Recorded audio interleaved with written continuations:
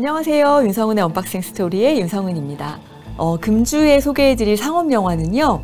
탈주라는 영화예요. 이종필 감독의 작품인데 이종필 감독은 삼진그룹 영어 토익반이라는 영화를 만들었습니다. 아마 재밌게 보신 분들 많으실 거고 또 그 해에 여러 영화상 시상식에서 어, 상을 또 받기도 했었던 그런 작품이에요. 그때 코로나 당시여서 많은 분들이 영화관을 찾기 어려우셨던 그, 그 시기에 개봉을 했음에도 불구하고 어, 이 영화에 대한 평가는 굉장히 좋았습니다. 네, 그 감독이 만든 영화 탈주라는 영화에는요, 여러분도 굉장히 좋아하시는 배우분들이죠. 구교환 씨 그리고 이재훈 씨가 출연을 합니다.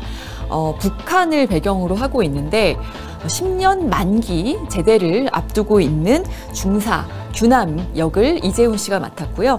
어, 그리고 그와 어릴 때부터 잘 알고 지냈던 좀 상류 사회의 어, 소자 현상 을 바로 구교환 씨가 맡았는데요. 어, 지금 이 중사 규남은 10년 만기 제대를 앞두고 어, 지금 휴전선 인근에서 근무를 하고 있기 때문에 탈주를 지금 계획을 하고 있는 중입니다. 그런데 문제가 생겼어요. 이 규남이 탈주를 하고 싶어 한다라는 것, 준비하고 있다라는 것을 눈치챈 하급 병사가 있습니다. 동혁이라는 병사인데요. 이 동혁이 먼저 탈주를 시도하면서 일이 커지게 됩니다. 그리고 그것을 알게 된 현상이 이들을 쫓게 되면서 어, 쫓고 쫓기는 자의 숨막히는 대결이 펼쳐지게 되는 영화가 바로 탈주입니다. 저는 어, 이종필 감독이 이 삼진그룹 영어 토익반에서는 굉장히 탄탄한 그 스토리로 짜임새 있게 이야기를 끌고 갔다면 이 영화에서는 어, 사실상 그 이야기의 그 쫄깃쫄깃한 부분보다는 어, 굉장히 스타일리시한 영화를 만들었고 그리고 이 영화를 끌고 가는 것은 구교환 씨와 이재훈 씨 이 두 배우의 명연기라는 생각이 드는데요. 여기에 또그 홍사빈 씨는 전에 송중기 씨와 함께 화란이라는 영화에 출연한 적이 있어요. 화란이라는 영화에는 사실상 송중기 씨가 조연이고 홍사빈 씨가 주인공이었는데요. 어, 이 영화에서도 주목할 만한 아주 인상적인 그런 연기를 보여줍니다. 그래서 이 세 배우의 연기를 보시는 재미로 이 영화를 감상하실 수 있을 것 같습니다. 어, 아까 이제 제가 스타일리시한 연출이 돋보인다라고 말씀을 드렸는데요. 그렇습니다. 이 영화는 중반 부분에 가면은 이 쫓기는 장면들에서 어, 굉장히 스피드 있는 그런 전개가 돋보이고 어, 마치 좀 뮤직 비디오를 보는 것처럼 음악도 이런 장면에 이런 음악을 쓴다고? 라고 생각될 정도로 어, 조금 맞는 것 같으면서 맞지 않는 것 같으면서 또 요즘에 도파민이라는 표현을 많이 쓰는데 아, 도파민을 폭발시킬 것 같은 예, 그런 어떤 어, 음악의 효과가 돋보이고 있으니까 그런 것들도 또 눈여겨서 보시면 재밌으실 것 같네요. 네, 여기까지 이번 주 개봉하는 상업영화 탈주에 대한 소개였습니다. 안녕하세요. 윤성은의 언박싱 스토리의 윤성은입니다. 오늘 여러분들께 소개해드릴 영화는요, 제목이 좀 긴 편이에요. 보통의 우주는 찬란함을 꿈꾸는가? 라는 조금은 독특하고 생소한 제목의 영화 소개해 드릴 텐데요. 어, 영화 만들어 주신 김보원 감독님 모셨습니다. 감독님 안녕하세요. 안녕하세요. 네. 제가 제목으로 좀 임팩트 있게 소개를 해드리고 싶었는데, 보통의 우주는 찬란함을 꿈꾸는가? 네, 요 제목에 대해서 먼저 설명을 부탁드리겠습니다. 아, 제 영화를 좀 그러면은 간략하게 먼저 소개를 시켜드려야 될 것 같은데, 네.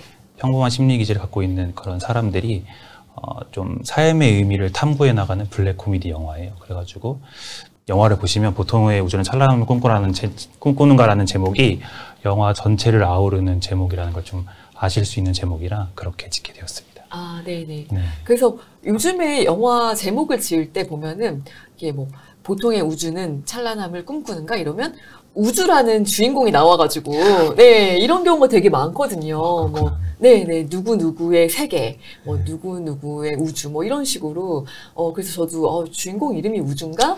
네 이런 생각도 해봤었는데 그건 아니더라고요. 네, 그건, 그건 네. 아닌데. 네. 어 그리고 지금 되게 간단하게 이제 설명을 해주셨는데 이 영화가 참 어, 줄거리를 소개하기가 힘든 네. 영화 중에 한 편이에요. 맞아요. 네. 네. 일단은 세 개의 장으로 구성되어 있다라는 말씀을 드려야 될 거고 요.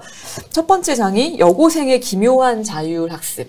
이라는 어, 에피소드, 두 번째 에피소드가 거지의 왕, 세 번째 에피소드가 진실을 아는 자 이렇게 되어 있습니다. 어, 각각의 그 에피소드에 대한 설명이랑 이게 어떻게 유기적으로 서, 연결되어 있는지 어, 그런 이야기를 하면서 영화를 좀 소개하면 어, 조금 그 시청자분들께 도움이 될 것 같아요. 음, 그 영화가 어떻게 그러면은 음. 좀 만들어지게 음. 구성을 하게 되었는지 그 말씀을 좀 드려야 될 것 같은데 원래 첫 번째 에피소드 좀 말씀해 주셨던 것처럼 여고생의 기묘한 자율, 학습이라는그 에피소드는 이미 한 몇 년 전에 제가 만들었던 영화거든요. 이미 네. 전주국제영화제에서 상영을 했었고 국내 영화제에서 많이 상영을 했었는데 단편으로요? 네, 단편으로 네, 네. 단편으로 상영을 했었어요. 그래가지고 제가 대학원 작품이었는데 그 여고생의 기묘한 자율학습도 어떤 마음으로 만든 영화냐면 이제 영화를 보시면 내용이 어, 끊임없이 우열을 나누는 뭐 외모든 지능이든 그 대해서 우열을 나누는 세상이 좀 고통스러워하는 여고생이 주인공으로 해가지고 어, 이렇게 끊임없이 우열을 나누는 세상에서 어떤 삶의 의미를 찾아야 되냐라는 걸 알아내기 위해 자율학습을 하는 그런 여고생이 주인공이거든요. 이제 당시에 제 마음을 대변하던 캐릭터고 어. 제가 대학원을 다닐 때 너무 힘들었어요. 왜냐면 언제나 좀 남들보다 영화를 잘 찍어야 되고 그렇지 않으면은 어. 내 창작 인생이 끝나겠구나라는 그런 그런 절벽 같은 마음이라고 할까요? 그게 너무 와닿던 시기라서 그 전까지만 해도 정말 열정만도 영화를 했다면 아 이제는 그냥 그런 걸로는 안 되고 내 창작 어, 인생이 끝날 수도 있겠다라는 게 고통스러워가지고 좀 그런 우열이 계속 나눠지는 세상에 대한 그런 마음을 영화로 만든 건데 근데 주인공이 여고생이에요 여고생인데 네. 여고생인 이유는 이제 우리나라에서 또 누가 가장 우열이 나눠지냐. 음. 사실 고등학생보다 더한 포지션 없죠. 왜냐하면 고등학생은 1등부터 꼴등까지 수능 성적이라는 게 나와버리니까. 네. 가지고 그래서 고등학생으로 상주했고 근데 영화에서 또 외모에 대한 우열도 나오거든요. 네, 네 맞아요. 네, 그래가지고 또 외모까지 포함하면은 어 이제 남자도 물론 외모의 우열에서 자유로운 존재는 아니지만 음. 사실 여성만큼 또 아니라고 생각하거든요. 예, 그래가지고 아, 이건 여고생을 주인공을 하는 게 맞겠다 해가지고 음. 첫 번째 에피소드가 완성이 되었고 사실 거기서는 끝이었는데 네, 네. 제가 이제 아까도 말씀드렸지만 창작 생활이 끝날까봐 아 이걸 어떡하지? 네. 난, 난 영화 계속 하고 싶은데 난 영화 끝나기 전에 장편도 하고 싶은데 막 그러다가 제가 이제 넷플릭스 오리지널 시리즈인 카우보이 노래라는 영화를 네, 봤어요. 그 네, 코엔 형제, 네, 코엔 형제 영화인데 그게 이제 서부극 옴니버스 영화인데 음. 여섯 개의 서부극이 있는데 각각 다섯 개 별개의 서부극 에피소드가 있고 음. 마지막 에피소드가 이 영화를 하나로 묶어준 형태로 끝나는 음, 네. 그런 옴니버스 형태의 영화인데 어, 그 영화를 보고 영감을 받은 거예요 제가 음, 그래가지고 어, 나도 아직 관련된 주제로 할 얘기가 많고 원래 옴니버스 영화를 별로 안 좋아했었는데 카우보이 노래가 너무 좋은 거예요 저한테 그래가지고 어, 저런 형태면 나도 장편 영화를 만들 수 있겠다. 음. 해가지고 두 번째, 세 번째 에피소드를 같이 기획해서 완성된 네. 영화가 지금의 영화입니다. 아, 그렇군요. 네. 어쨌든 저희 이제 언박싱 스토리 꾸준히 봐 오신 분들은 독립영화 감독님들이 얼마나 영화에 대한 열망과 열정으로 오랫동안 준비하셔서 이렇게 한 편의 영화를 어, 개봉까지 끌고 오시는지를 많이 그래도 느끼셨을 것 음. 같은데요. 감독님도 좀 비슷하셨을 것 같아요. 19년, 2019년에 첫 번째 맞아요. 이 네. 여고생의 기묘한 자율학습 요 단편 네. 찍으시고 나머지 두 편의 영화는 또 코로나 기간이었잖아요, 그동안. 맞아요. 네, 네 얼마나 힘드셨을지 네. 좀 짐작이 가는데 그러면 두 번째, 세 번째 영화 같은 경우에는 어떻게 제작을 어디 지원금을 좀 받으셨나요? 아, 지원금은 사실 받지 못했고, 음. 근데 제가 좀 상업 영화 현장에서 스텝으로 일하면서 음. 좀 많이 가까워진 음. 막 어, 미술 감독님이 계세요. 네. 미술 감독님 계신데 진경희 미술 감독님이라고 제 영화 아. 미술 감독으로 참여하셨고 네. 그래가지고 사실 엄청난 도움을 주셨죠. 왜냐면은 음. 첫 번째 에피소드에 나오는 그 성당 장면이 나오는데 그 네. 세트거든요. 알죠. 세트예요? 네, 그거를 아. 그냥 공짜로 지워주셨어요. 그냥. 와. 그냥 공짜로 지워주시고. 진짜 감독님을 네. 응원하고 저를 응원하, 응원하시니까 아. 그냥 공짜로 지워주시고 두 번째, 세 번째 에피소드 당연히 다 그냥 공짜로 지원해 주셨는데 그, 제작자네요, 거의. 근데 저는 사실 투자자라고 생각하고 있어요. 그래서 네. 그리고 그래가지고 또 두 번째 촬영 감독님이 또 최우만 촬영 감독님이라고. 네. 그 진경희 미술 감독님 남편분이세요. 네. 네 최현만 촬영님 이제 나, 의 아저씨 촬영하시고 뭐 아스달 연대기 촬영하시고 이제 굵직굵직한 작품 많이 촬영하신 대단한 촬영 감독님이시거든요. 와. 근데 다 공짜로 도와주시고. 그 부부기 때문에 가능한 그 네, 네, 네. 지원을 네, 받으셨군요. 또, 네, 맞습니다. 체험한 촬영도 또 저를 되게 좋아해 주시거든요. 다행히도 그래가지고 그렇게 막 지원을 받아가지고 두 번째, 세 번째 에피소드 사실 이제 모든 장비 지원을 다 받고 찍었죠. 와, 정말 많은 분들의 또 지원이 있었기에 완성될 맞습니다. 수 있었던 영화 더 좀 귀하게 느껴지는데요. 자, 그러면 첫 번째 에피소드는 그런 그, 어, 우열을 가리는 이 세상에서 네. 어떻게 살아남아야 될 것인가를 고민하게 된, 네. 좀 철학적인 고민을 하게 된그 네. 여고생의 이야기라고 좀 정리를 해볼게요. 네. 그러면 두 번째, 거지의 왕, 그리고 네. 어, 진실을 아는 자, 요 에피소드들도 조금씩 설명을 부탁드립니다. 어, 두 번째 에피소드, 그래서 어떻게 진행을 할까? 처음에 이제 장편을 구상을, 구상하면서 캐릭터를 구상을 해야 되니까 누구를 주인공으로 할까 해가지고 첫 번째 에피소드에 가장 밑바닥에 있는 캐릭터의 다중우주 버전을 가져와서 진행을 했어요. 첫 번째 에피소드 거지가 나오는데 완전히 인생 밑바닥으로 볼 수 있는 어, 우리가 도달하기 싫은 지점에 극단에 있는 사람이라고 볼 수 있는데 그 사람을 이제 주인공으로 음. 해가지고 이제 철학을 전개하는 거죠. 평범한 사람이 어떻게 사는 게 행복한지 네. 삶의 의미를 찾아가는 내용으로 음. 하는데 네, 거기 안에서도 이제 벗어날 수 없는 음. 어떤 삶이 행복한지 알면서도 음. 본연에 숨겨진 그 인간의 욕망에서 벗어날 수 없는 내용을 담고 있는 얘기가 네. 거지의 왕입니다. 네. 네. 그래서 그 거지가 어떻게 거지가 되게 됐는지에 네. 대한 이야기 쭉 나오잖아요. 네. 어릴 때 그리고 이제 꿈 이야기 네. 나오죠. 이제 그 대통령 네.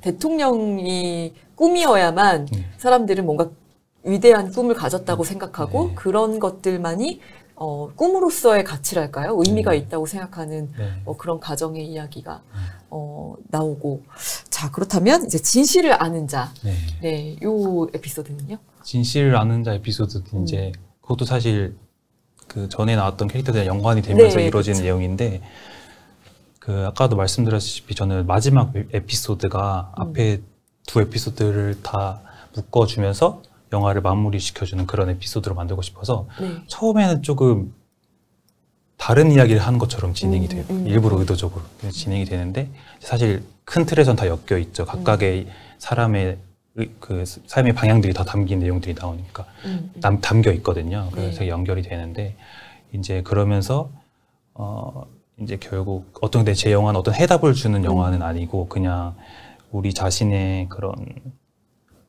저는 우열을 가리거나 뭐 더 큰 욕망을 품거나 음. 진실을 아는 자를 보면 이제 사람들은 자기가 믿고 싶은 걸 진실로 믿거든요. 음. 사람들은 다 그렇잖아요, 사실. 음. 그러니까 진실을 말한다는 주인공 캐릭터조차 음. 자기는 진실을 필터를 거쳐서 자신만의 진실을 받아들이잖아요. 네, 네. 네 그래가지고 그렇다 모든 사람이 다 그렇다고 생각하거든요. 네, 그래가지고 네. 그런 보통 사람들의 특성이 세 편 다 그렇고 그런 네. 보통 사람들의 특성이 담겨 있는 영화고 그냥 사람들한테 이런 보통 사람들의 어떻게 보면은 직면하기 싫은 감정이라고 할까요? 음, 이런 음. 거를 근데 블랙 코미디로 승화를 시켜서 그냥 웃어 넘길 수 있게 만드는 음. 그런 에피소드로 활, 이제 영화를 마무리 짓는 게 마지막 에피소드인 것 같습니다. 네, 네.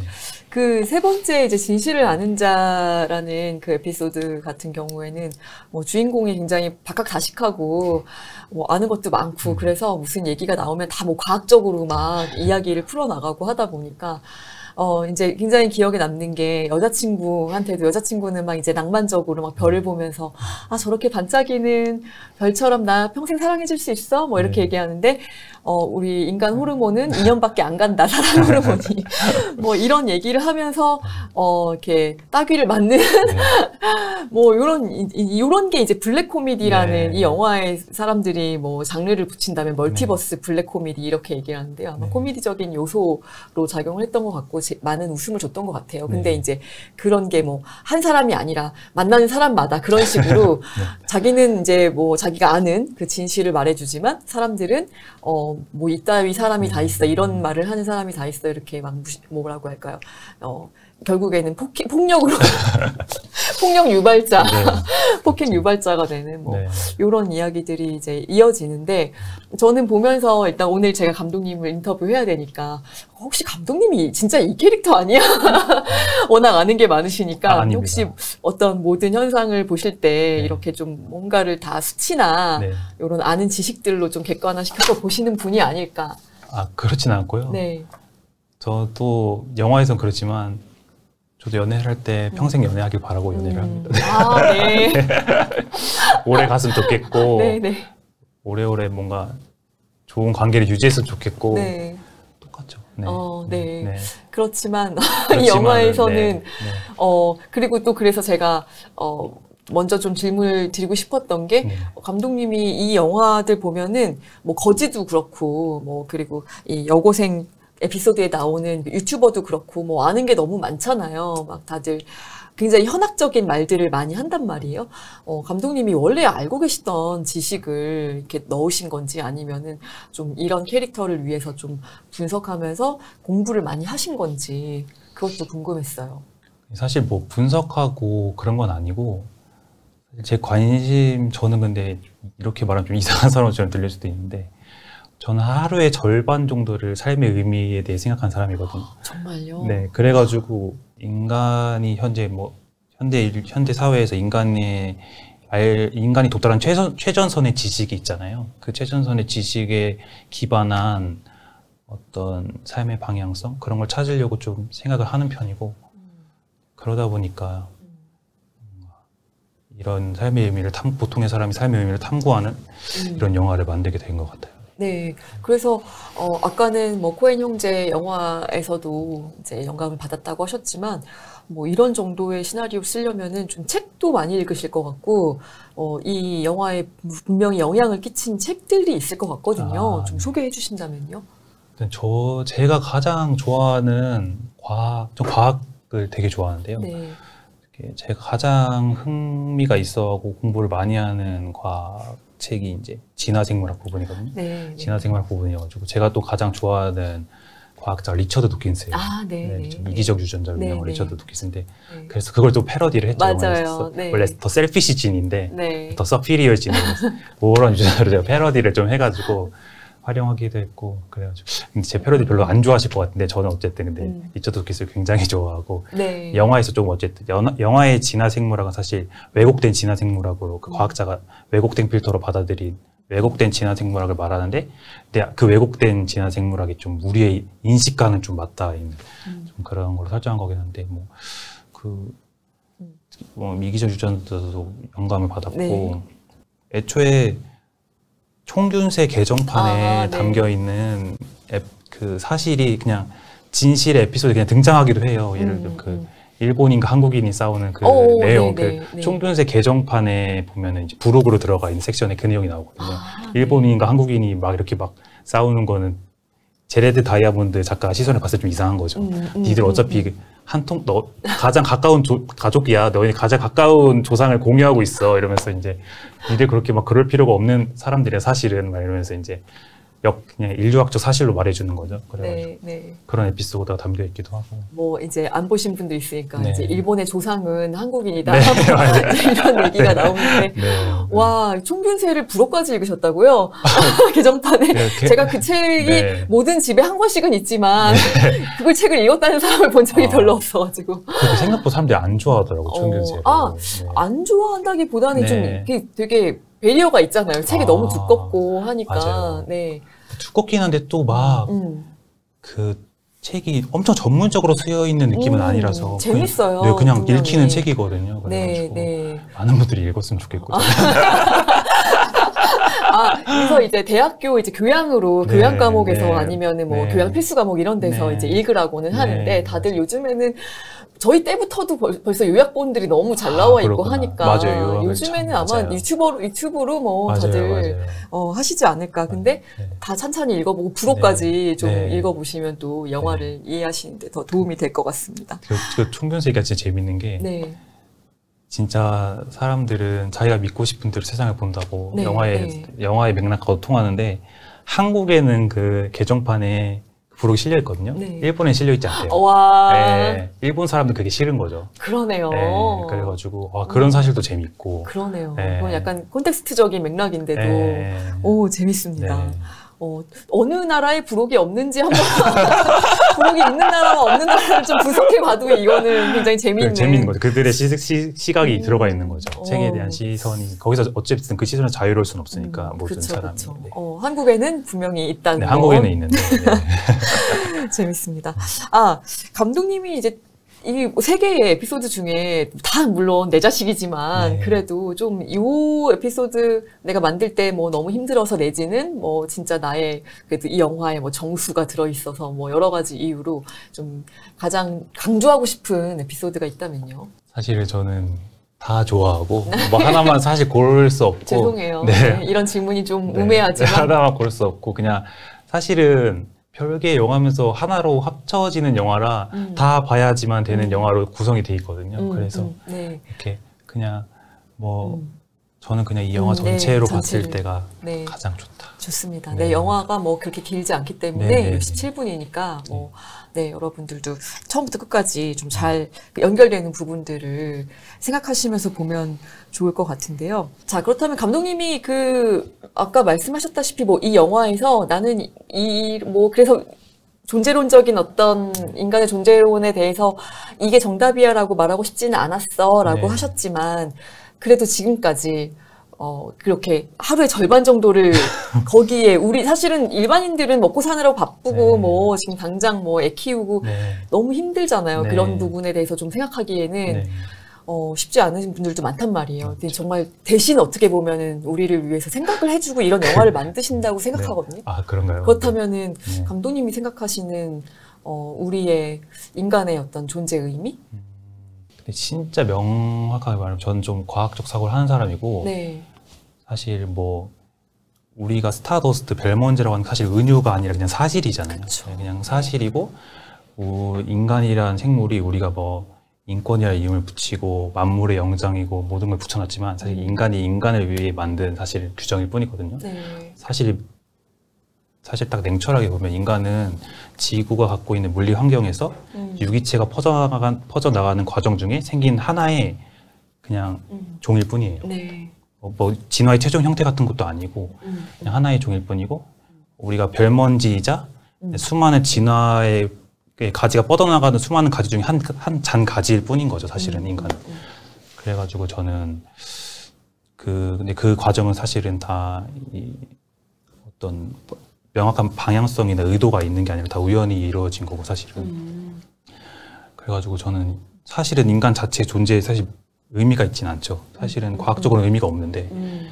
그래서 의미를 찾는 것보다 어떻게 살 것인가를 생각하는 게 더 중요하다고 생각하거든요. 음, 예, 어떻게 네, 살까. 네, 네. 그래서 저는 뭔가 그래도 제 자신을 좀 소중하게 생각하고 싶고 인간을 좀 목적으로 좀 보고 싶고 존재 자체를 좀 그런 마음이 있어서 어 근데 그게 과학적 우리 인간이 하는 행위야 과학적 그 사실이 매치가 되지 않는 경우가 많거든요. 그래서 저는 좀 폭을 넓혀야 된다고 생각해요. 그래가지고 음, 음. 저는 인권을 존중하는 게 아니라 음.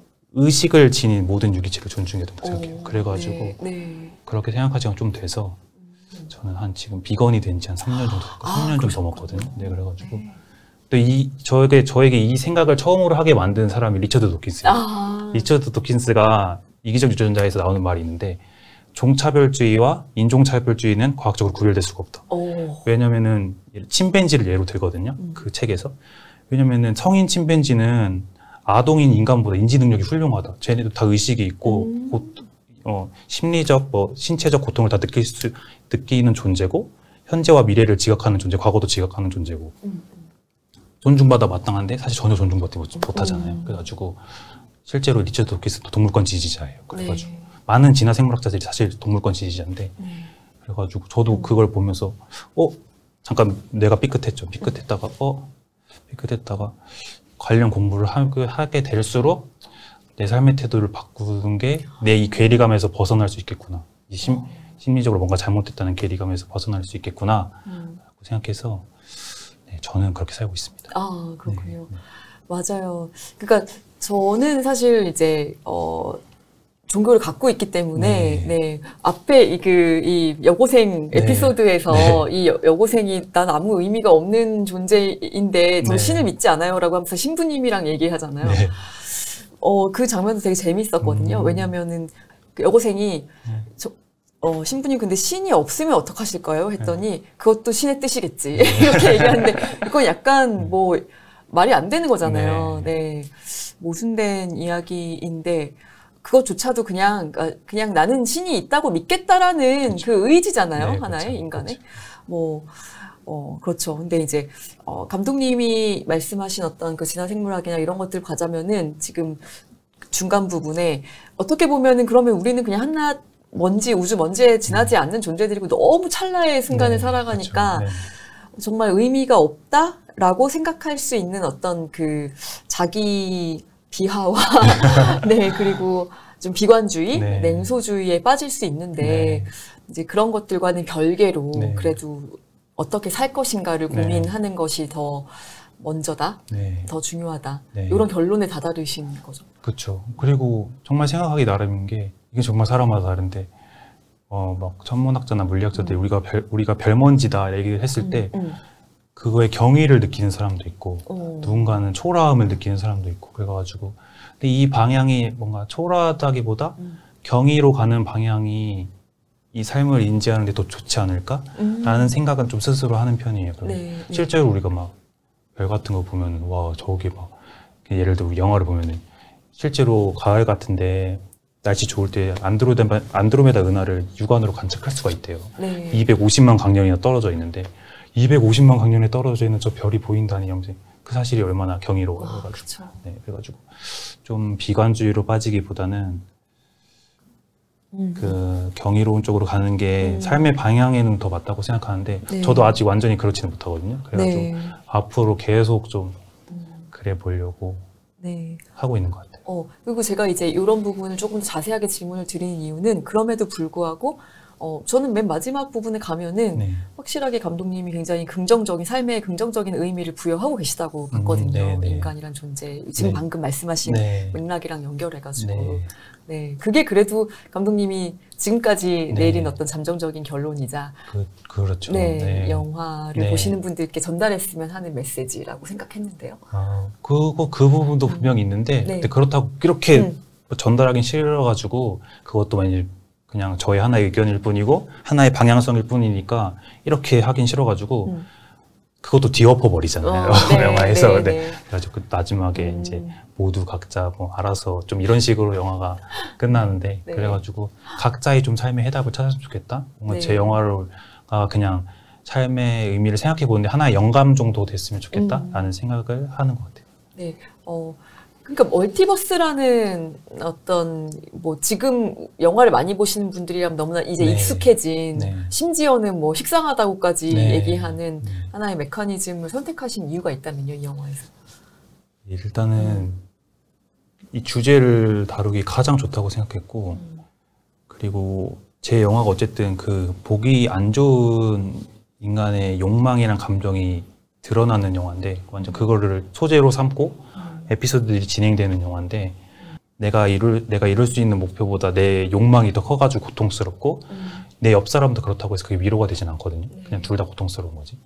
근데 다른 우주에서 그렇다? 이러면 그게 재미있는 일이 되거든요. 네. 네. 그래서 전 마블도 멀티버스 하는 거라고 생각하거든요. 네. 그게 재미를 주니까. 그러니까 이, 이 좀 암담한 현실, 좀 암담, 좀 별로 직시하기 싫은 우리의 감정을 그냥 재밌는 일을 치부, 치부해 버릴 수 있게 만드는 세계관의 구조를 만들어 버리는 거죠 multiverse가 네, 저는 네. 그래서 사실 되게 multiverse여야 된다고 생각하고 영화가 어... multiverse가 아니면은 마지막 그 장면도 임팩트가 별로 없거든요. 음, 네, 그래서 제 영화가 꼭 멀티버스여야 된다고 생각합니다. 어, 그럼 다음 작품도 혹시 그건 아닌데 그런 건 아니고요. 네, 그런 네. 건 아닌데. 네. 네. 음. 아 말씀하시니까 진짜 그런 것 같아요. 네. 뭔가 객관화 시킬 수 있으니까 네, 네. 내가 어, 한 사람이 이입하는 것보다는 네. 어, 이렇게 다른 다중 우주에서 네. 다중 우주에서의 모습을 보면 어, 조금 거리감을 두고 네. 더 냉철하게 생각해 볼수 네, 있는 네. 네. 어, 그런 구조를 짜신 거군요. 네, 네 좋습니다. 어, 뭐 영화 그 인터뷰 좀 초반에 했어야 되는 이야기이긴 한데요. 네. 오늘 이제 인, 배우분들이 안 나오셨잖아요. 네. 네, 그래서 어, 배우분들도 또 여러분이 나오시고 네, 맞아요. 네. 멀티버스기 때문에 네. 여고생부터 시작해서 네. 어, 많은 분들이 나오시는데 저는 어, 배우분들이 이 영화를 어떻게 이해하고 참여하셨는지 궁금하거든요. 이분들이 어떤 이 감독님의 그 다중 우주에 대한 이 체계를 전부 다 이해하고 좀 연기를 하신 건지. 근데 이거 제가 배우분들이랑 GV를 많이 진행하면서 다 네. 들었거든요. 네. 아무도 이해하지 않고 들어왔더라고요. 어, 아무도 이해하지 네. 않고 들어왔고. 그랬을 것 같았어요, 저는. 네, 그래가지고 처음에 이제 박서윤 배우죠. 첫 번째 에피소드의 주인공인데 박서윤 배우는 시나리오 뭐 이게 뭐지 싶었대요. 이거 이게 지금 뭐지? 내가 지금 뭘 본 거지? 싶었는데 옆에서 서윤 배우 어머니가 야 이거 너무 재밌다. 어. 너 이거 해, 너 이거 해봐야겠다 해가지고 어, 엄마 보기 재밌다고 해볼게 해서 했다고 음. 들었고 네, 네, 네. 그래가지고 영화 되게 좋아요. 음. 찍어보고 보니까 재밌다고 하더라고요. 네, 네. 하고 이제 이제 어 두 번째 네, 에피소드 이제 심규호- 심기호 배우이자 감독님인데 네. 어, 듀오 배우랑은 얘기를 좀 많이 했었어가지고 네, 네. 어느 정도 알고 했을 거예요. 왜냐면은 네, 첫 네. 번째 에피소드 조 감독이기도 했고, 네. 예, 그리고 두 번째, 에피소드 내가 할 거다. 두 번째 음. 에피소드 주인공이다. 막 네. 이렇게 하면서 했기 때문에 어느 정도 파악을 한 상태로 들어왔을 거고 이제 음. 세 번째 에피소드 주인공은 동민 선배인데 네. 동민 배우인데 동민 선배도 뭐지 싶었대요. 이게 네. 이해가 전혀 안 됐대요. 음, 시나리오 보고 이해가 전혀 안 됐는데 네. 제가 근데 동민 선배랑 너무 하고 싶어서 음. 그막그 소속사에 막 PPT도 보내고 어머, 같이 어머. 하고 싶다고 이런 영화 우리 영화 이런 영화다 이러면서 막, 해, 막 해가지고 그 정성에 감동하셔서 해주셨다고 하시더라고요. 네, 그 네. 저거 만나 보니까 제가 괜찮은 사람처럼 보이셨대요. 그래가지고 그래가지고 아뭐 이분이라면은 뭐 영화 좋은 영화 만드실 것 같다 이렇게 생각 고맙게도 그렇게 생각을 해주셔서 네, 네. 그렇게 출연해 주셨는데 지금 또 영화를 되게 좋아해 주셔가지고 어, 네, 아주 감사하죠. 네. 아니 영화를 뭐 다 각본을 다 음. 이해하고 찍었든 안 찍었든 영화 네. 완성된 거 보시고서는 네. 굉장히 어, 이게 독특하고 신선한 영화 네. 어 그리고 뭐 연기들도 워낙 훌륭하셨고 네. 해서 만족하셨을 것 같아, 네, 같아요. 네. 그리고 어 저도 이제 영화를 보는 기준이 특히나 또 독립 영화에서는 정말 상업 영화와는 다른 그런 어, 식감이 있어야 된다고 생각하거든요. 네. 네. 근데 이 영화는 그런 식감도 있으면서 뭐 식감만 있는 게 아니고 뭔가 달콤 쌉싸름한 이 영화만의 매력이 분명히 있다는 생각이 들었습니다. 음. 그래서 어, 감독님을 만나 뵙기 전에 조금은 어, 되게 궁금하면서 좀 긴장도 했고 아. 되게 독특한 분이면 어떡하지? 아 근데 네. 방금 말씀하신 얘기 진짜 많이 들었어요. 어. 딱 이렇게 막 사람들이랑 미팅을 하는데, 오 감독님 정상적이시네요.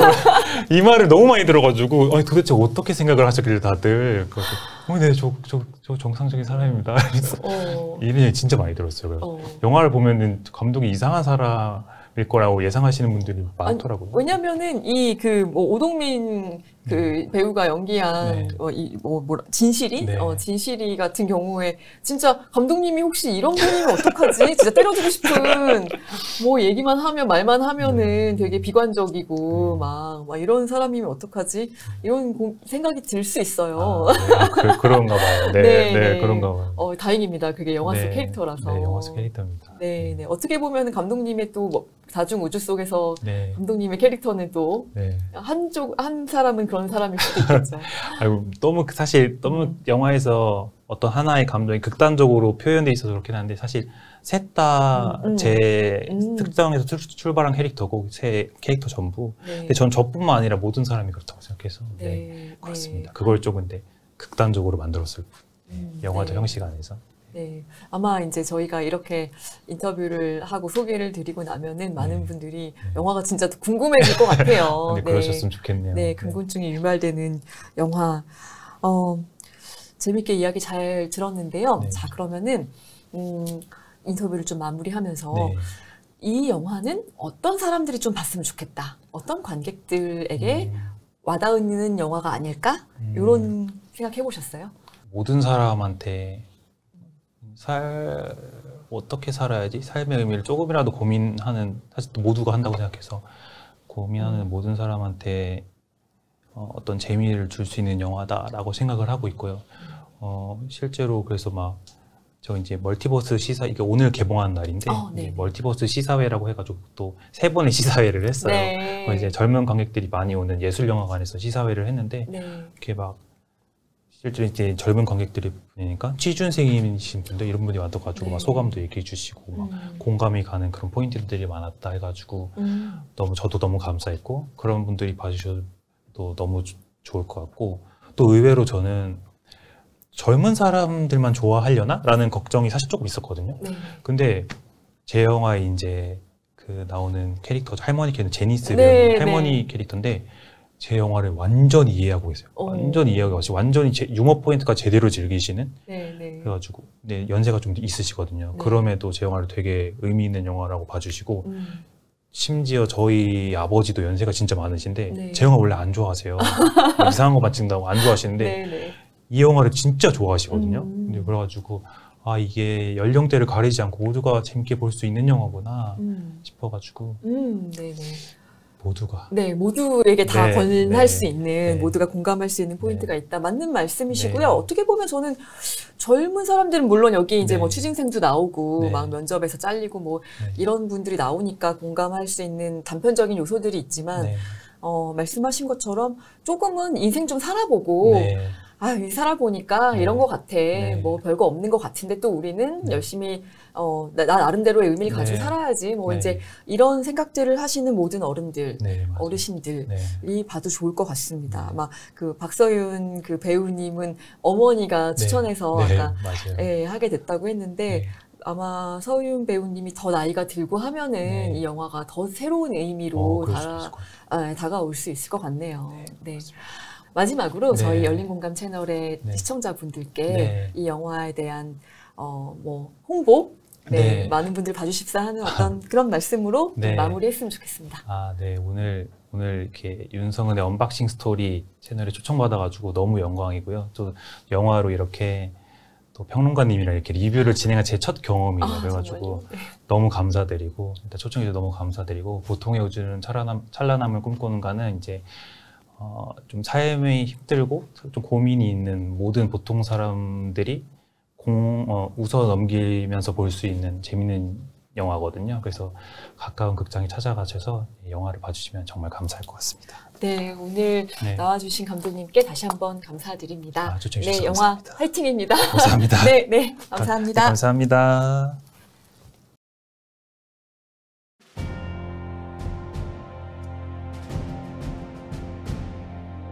언론의 사명은 반드시 물어야 할 질문을 던지는 것에서 출발합니다. 열린공감 TV와 탐사전을 오는 정치 권력, 자본 권력 등 그들의 이권과 카르텔을 감시하기 위해 반드시 의혹에 대해 질문하고 진실을 알리겠습니다. 열린공감 TV와 탐사전을 오는 시청자 여러분의 후원으로 운영됩니다. ARS 전화 1877-0809를 누르신 후 안내 멘트에 따라 정기 후원에 가입하여 주시길 부탁드립니다. 또는 우리은행 1045-704-387412 국민은행 787201-04-247879의 후원 계좌를 통해 일시 후원 및 정기 후원도 가능합니다. 그리고 안내에 따라 해피 나눔의 필수 항목이라고 붉은 글씨로 되어 있는 것 등에 기입하여 원하는 금액을 입력한 후 서명하여 신청하기 버튼을 클릭해 주시기 바랍니다. 열린공감 TV와 탐사전을 온해 모든 영상의 더보기를 클릭한 후 기재되어 있는 ARS 후원 안내 1877-0809및 우리은행 국민은행 계좌를 통해 시청자 여러분의 소중한 후원을 기다립니다. 열린공감 TV와 탐사전을 오니 오로지 진실 그 하나를 위해 항해해 갈 수 있도록 시청자 여러분이 함께 승선하여 길잡이와 등대가 되어 주시길 부탁드립니다. 감사합니다.